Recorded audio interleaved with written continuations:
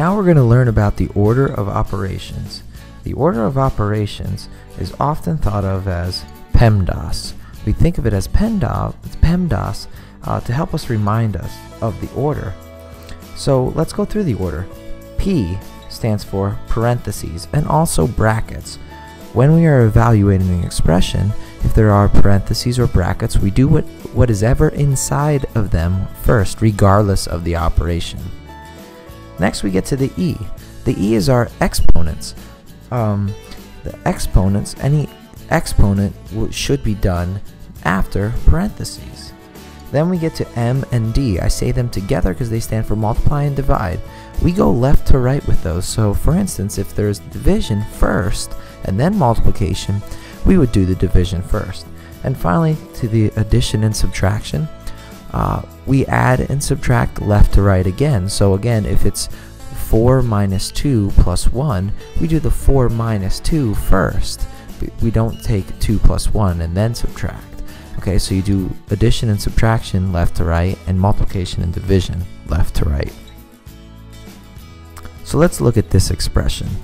We have 4 times 5 plus 2 times 3 minus 3. When we do this, we want to immediately do our multiplication first because there are no parentheses and there are no exponents. So 4 times 2 or 4 times 5 is 20 plus 2 times 3 is 6 minus 3. Now we're at addition and subtraction. Remember, we go left to right. So we must first do the 20 plus 6 is 26 minus 3, and that'll give us our answer of 23. What happens if we don't use order of operations? Let's see. 4 times 5 is 20. 20 plus 2 times 3 minus 3. 20 plus 2 is 22 times 3 minus 3. 22 times 3 is 66 minus 3. And we get the answer of 63, which is much different than our original answer.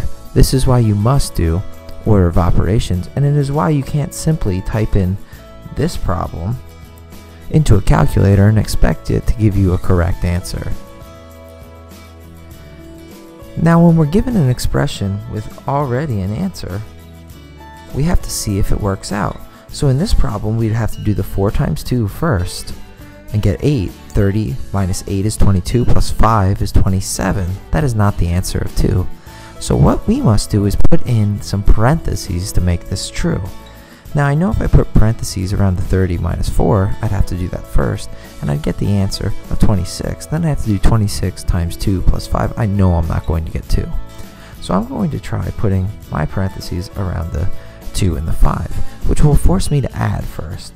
So I get 30 minus 4 times 7.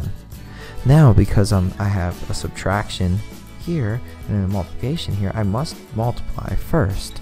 So 30 minus 28. And that'll give me the answer of 2, which is what I needed to find to begin with. So using parentheses, you can change the order around and fit it to what you need.